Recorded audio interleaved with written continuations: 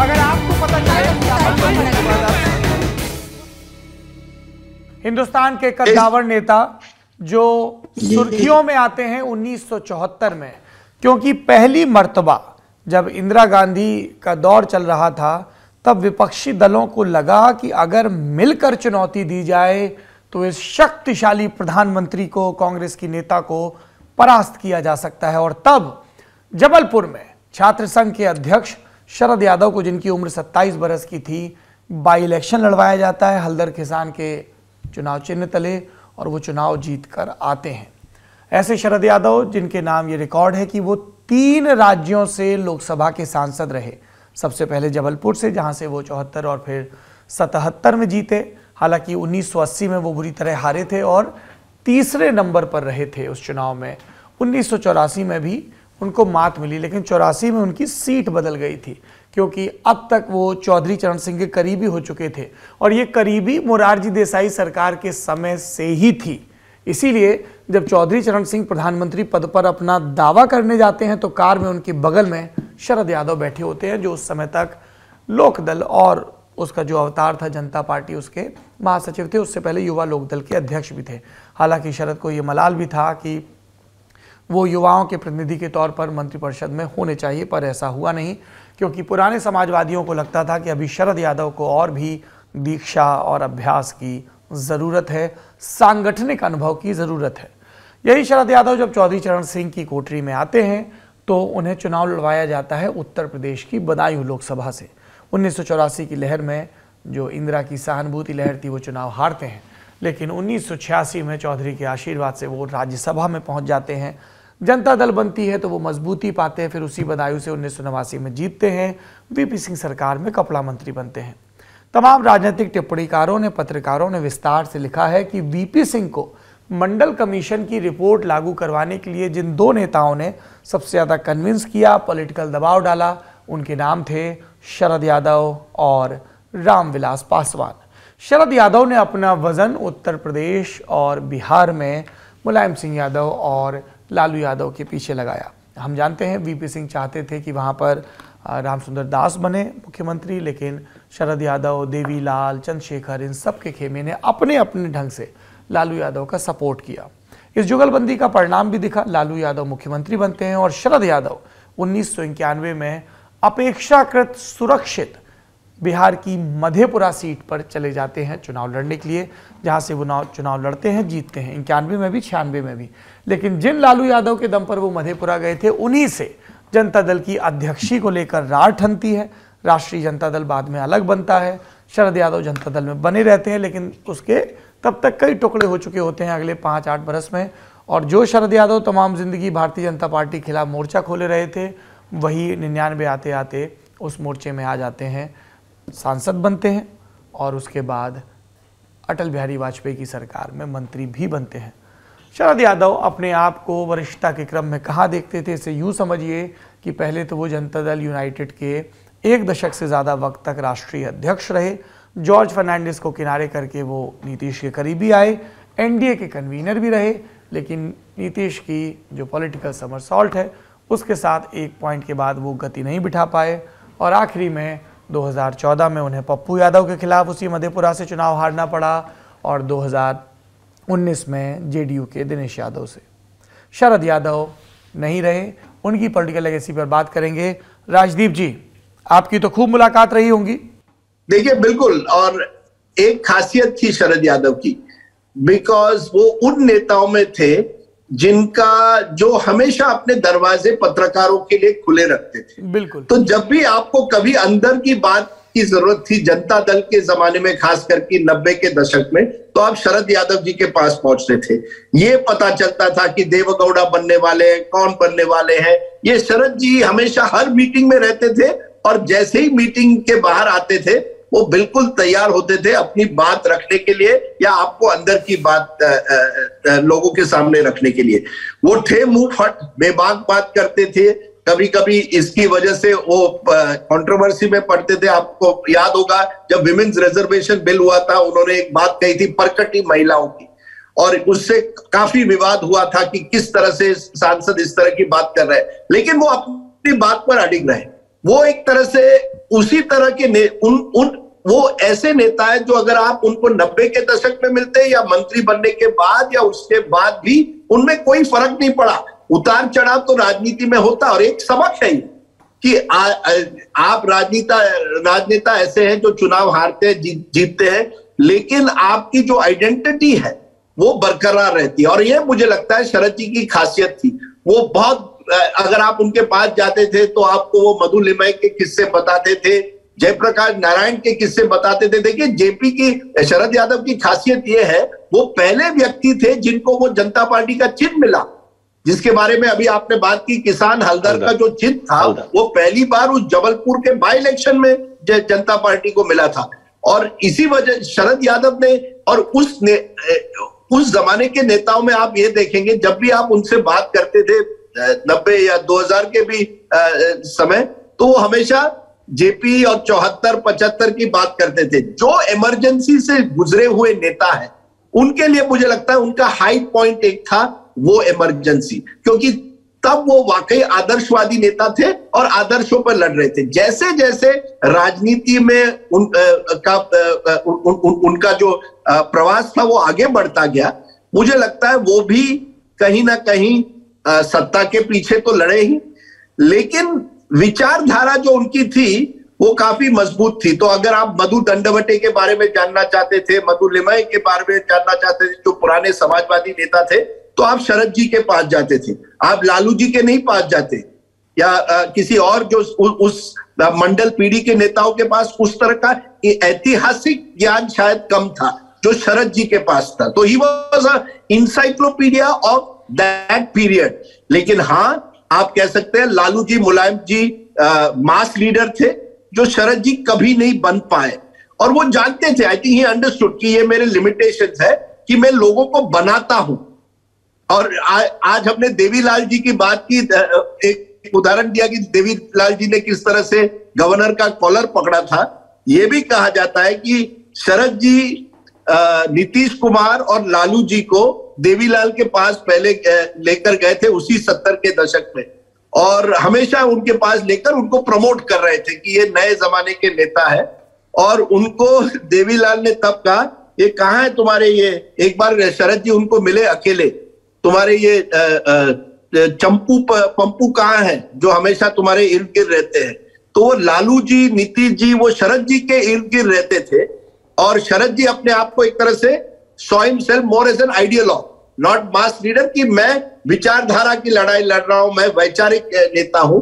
तो you have to give him credit हालाँकि उनके जो जैसे मैंने कहा कंट्रोवर्सी में पड़े, हवाला कांड में भी उनका नाम आया। पर overall I would say he was one of the last socialist leaders जिसका एक कनेक्ट वाकई था उस जेपी लोहिया के जमाने से।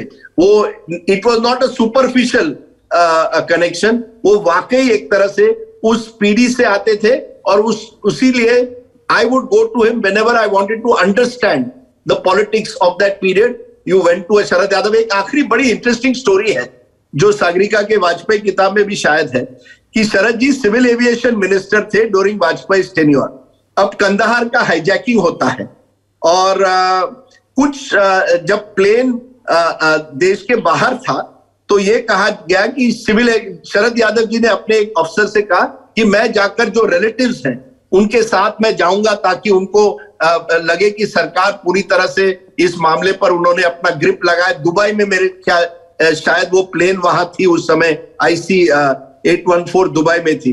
प्रॉब्लम एक ही था, शरद यादव के पास पासपोर्ट नहीं था। अब आप सोचिए कि आप 30-40 साल तक राजनीति में रहे हैं। ये 2000 निन्यानवे 2000 की बात है कंधार का हाईजैकिंग होता है। चौहत्तर में 27 साल की उम्र में आप पहली बार एक सांसद बने हैं। लेकिन इतने 25 सालों में आपने पासपोर्ट भी नहीं किया था। ही टोल्ड मी कि आई डिड नॉट ये जो पार्लियामेंट्री कमिटीज विदेश जाते हैं, मैं कभी उन कमिटीज पर गया ही नहीं हूँ। मैं जो बात रखता हूँ, वो आदिवासियों की रखता हूँ, पूर्वोत्तर की रखता हूँ, मंडल कमीशन को ले, लेके रखता हूँ। मुझे क्या जाना है बाहर? तो जब वो सिविल एविएशन मिनिस्टर बने, उनके पास पासपोर्ट भी नहीं था। So in a way you cannot deny that he was a connect with a older period एक पुराने जमाने की बात जब हम करते हैं पत्रकार तो I think Sharad Yadav was a reminder कि एक जमाने में जो नेता हुआ करते थे, वो दिल खोलकर पत्रकारों से बात करते थे और अपनी विचारधारा रखते थे और उनकी एक ऐतिहासिक जानकारी भी थी। So I would say he was a leader of that generation शुक्रिया राजदीप जी। राहुल जी। सौरभ, देखिए राजदीप ने जो कहा ना, पत्रकार, मैं ये कहता हूँ कि Sharad Yadav was a leader who was not जो कि एडिटरों के नेता नहीं थे, वो रिपोर्टरों के नेता थे। और ये शरद यादव की खूबसूरती थी कि उनका दरवाज़ा कभी नहीं बंद हुआ। और कुछ नेताओं की खासियत होती है, सौरभ, कि वो इतने मिलनसार और ओपन होते हैं। मैं, आप ये बात मेरी थोड़ी ध्यान दीजिएगा, आपने पता नहीं गौर किया कि नहीं, मेरे साथ ये रहा है कि जो नेता आपके साथ व्यवहार अच्छा रहते हैं लोगों के साथ अच्छा व्यवहार रखते हैं आपको उनके स्टाफ का नाम याद रहता है। योगेश जी की बात कर रहे हैं क्या? तो देखिए रामभोर साहब जो थे जी। राम भोर जो थे शरद यादव के साथ दशकों से रहे। राम भोर मामूली आदमी है उनका नाम लोग नहीं जाते होंगे लेकिन राम भोर खुद सोशलिस्ट थे। आ, ये ये कुछ नेताओं की स्पेशलिटी होती है। रामविलास पासवान के साथ त्यागी साहब हुआ करते थे। वो सबको पता था कि कौन आने हैं जिसको कि नाम नहीं याद है। ऐसे तमाम नेताओं की एक लंबी फेरिस्त है जो कि उन नेताओं के साथ थे। क्यों? क्योंकि वो नेता इतने अच्छे थे, उनको, उनका स्टाफ लोगों के साथ, उनकी डीलिंग अच्छी थी कि वो एक एक एक इक्वेशन बना के रखते थे। तो शरद यादव के लिए जो राजदीप ने कहा कि वो नेता बनाते थे। देखिए, कुछ लोग ऐसे होते हैं। देखिए, मैं एक शरद यादव के लिए बताऊँगा कि अभी कुछ दिन पहले मुलायम सिंह यादव नहीं रहे। और शरद यादव के जाने के बाद मैं से कहूँगा कि कल प्रीति चौधरी जो हमारी कलीग हैं इंडिया टुडे में उन्होंने एक सवाल पूछते मुझे एक बहुत सुंदर बात कही there is a sense of melancholy to it कहीं ना कहीं एक सूनापन है uh, जो कि आया है मुलायम सिंह यादव नहीं रहे शरद पवार शरद यादव नहीं रहे आपके जॉर्ज फर्नांडिस नहीं रहे। ये जो सोशलिस्टों की एक लाइन लिस्ट थी जिन्होंने एक थर्ड ऑल्टरनेटिव की बात करी, जिन्होंने कांग्रेस, बीजेपी के इज्म से आगे जाकर के एक जनता के सामने ऑल्टरनेटिव की कोशिश करी। जेपी के जेपी की औलादे थे लोग। उस मूवमेंट से निकले थे, आपस में लड़ते थे।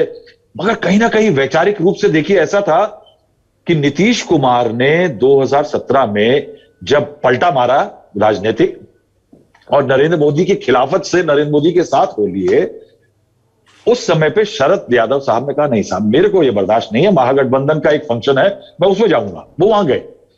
जो लालू प्रसाद यादव जी की पार्टी के साथ में था। उसमें कंप्लेंट होती है उनकी, नीतीश कुमार के द्वारा, जेडीयू के द्वारा, वेंकैया नायडू साहब से, कि ये एंटी डिफेक्शन लॉ में आता है, क्योंकि एंटी पार्टी एक्टिविटी है, क्योंकि आप विरोधी के खेमे में चले गए। वेंकैया नायडू साहब चेयरमैन थे, राज्यसभा के वाइस प्रेसिडेंट ऑफ़ इंडिया वो रूलिंग देते हैं। शरद यादव एक्सपेल हो जाते हैं। शरद यादव राज्यसभा की अपनी सीट खो देते हैं। लेकिन अभी जब हाल में नीतीश कुमार को दोबारा परम बोध ज्ञान होता है कि साहब, मोदी जी के साथ नहीं मेरी पटरी बनती और वो लालू जी के पास दोबारा चले जाते हैं तो तीन साल से शरद यादव जी पटना नहीं गए थे साहब। और शरद यादव पटना पहुँचते हैं और वो जो उनका कंधे पे हाथ रख के नीतीश के साथ फोटोग्राफ है, अगर आप दिखा सकें तो वो इनके ये जेपी के बच्चों में एक बड़ा प्रॉब्लम था इनकी ईगोज बहुत थी, अपने आप में बहुत बड़े नेता थे। कुछ ड्राइंग रूम के नेता थे, कुछ नेगोशिएटर्स थे, कुछ पब्लिक फेसेस थे। झगड़े बहुत थे इनमें साहब। लेकिन साहब, एक ख्याल तो था कि एक थर्ड ऑल्टरनेटिव है। जब भी कहीं बात होती है आज तो ये लोग ज़्यादा आसानी से मुझे लगता है कि इकट्ठे हो सकते थे कंपेयर टू कि ममता बनर्जी टीआरएस के नेता बीजू जनता दल, इन लोगों को जोड़ना ज़्यादा मुश्किल होगा कंपेयर टू इन लोगों के जोड़ना शरद यादव, मुलायम, नीतीश कुमार, इन लोगों को शायद जोड़ना आसान होता, क्योंकि कहीं ना कहीं इस पौध की जड़ें जो हैं, वो उलझी हुई थी आपस में। तो शरद जी बहुत बड़े नेता नहीं बन पाए, मगर अपने आप में देखिए, मेरे को एक दिन बैठे बैठे शुरू शुरू में मुलाकात हुई थी he was very fond of me तो मुझसे एक दिन बोलते हैं तो जात पे डिस्कशन हो रहा था जाति पे। तो कहते हैं देख, श्रीवास्तव, तू एक बात याद रख। मैं तेरे को श्रीवास्तव ही बुलाऊँगा। क्यों? क्योंकि जात इस देश की ना बहुत बड़ी रियलिटी है। मुफट आदमी थे साहब। बिल्कुल साफ़ बोला उन्होंने। कहा कि ये डिनाई मत करो इसको। अगर ये जात इंपॉर्टेंट नहीं होती तो ये कैसे है कि जबलपुर का यादव यूपी के बदायूं से चुनाव लड़ जाता और बिहार का बड़ा नेता बन जाता। ये सिर्फ़ इसलिए कि मैं यादव साहब, ये क्लैरिटी जो थी ना, शरद यादव की बड़ी एंडियरिंग थी एक पॉलिटिकल जर्नलिस्ट के लिए। कि जहाँ पे एक टाइप पे प्रेस कॉन्फ्रेंस में बैठ के अकेले में नेता कहता साहब हमारा कोई डिसीज़न जात और धर्म पे नहीं होता। हम विनेबिलिटी देखते हैं हम अला देखते हैं फला देखते हैं। शरद यादव ये सब बातें नहीं करते थे।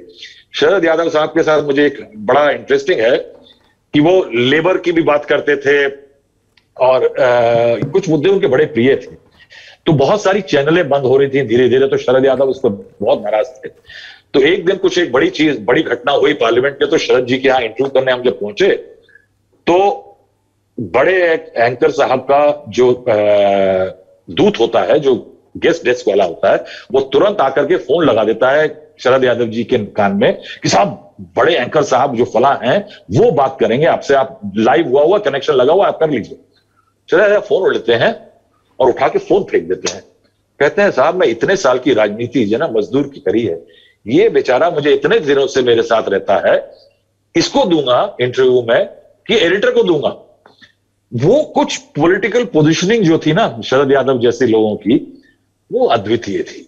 मैं ये कहूँगा कि कहीं ना कहीं वो जो एक ख्याल है that that idea of a third front I think Sharad Yadav going definitely is a setback मैं मैं इसे एक छोटी सी चीज़ उनकी जोड़ता हूँ, एक स्टोरी है। अन्ना अन्ना हजारे आंदोलन चल रहा था 2011 में। और उसी साल में उस समय एक चैनल सीएनएन एन में था और हमने अन्ना जी को CNN IBN Indian of the year दिया था कि वो उस साल के बड़े न्यूज़ मेकर थे। उस उस फ़ंक्शन के कुछ दिन बाद में शरद यादव जी को मिला। तो शरद यादव जी कह रहे सुना है कि आपने अन्ना हजारे को कोई अवार्ड दिया है? तो मैंने कहा, सर हाँ। तो उन्होंने कहा, क्यों? तो मैंने कहा, नहीं सर, इस साल उनके वो न्यूज़ में तो वही रहे हैं। तो मैंने कहा क्यों? क्योंकि उन्होंने कहा सब नेता चोर हैं। उनको मेरे सामने लाइए। मैं उनको ठीक करता हूँ कि जब जो ऐसा व्यक्ति कहता है सब नेता चोर है उसको आप अवार्ड देते हो। और आप मेरे पास अब बैठे हो मैं भी नेता हूँ। क्या मैं चोर नज़र आता हूँ?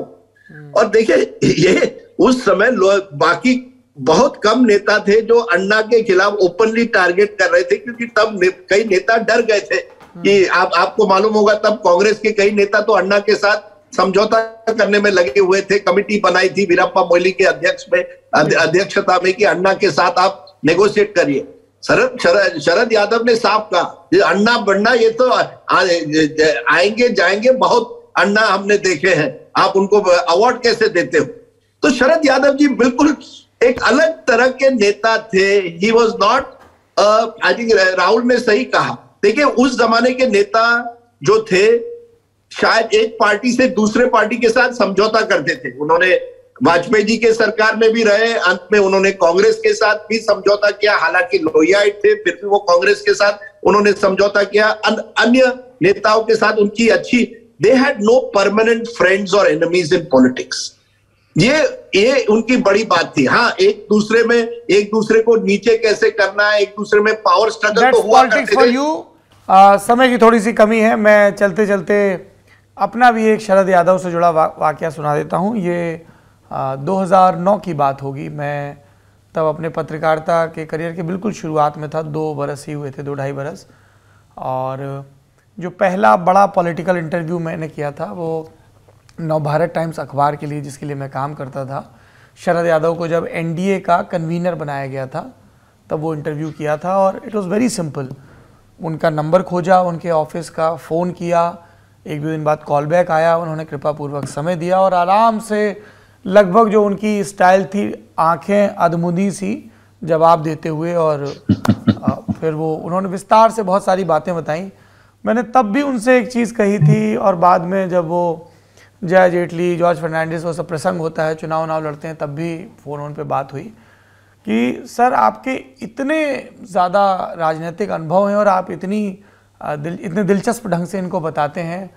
यू मस्ट इंश्योर कि ये सारे पॉलिटिकल मेमोइड्स रिकॉर्ड हों, पर अनफॉर्चुनेटली रामविलास पासवान जी चले गए, शरद यादव जी का भी देहांत हो गया, और हमारे हिस्से के जो बहुत सारे राजनीतिक अनुभव होते थे, वो अब पत्रकारों से मिलते हैं, पर शोध की भाषा में हम इसको सेकेंड हैंड सोर्स बोलते हैं।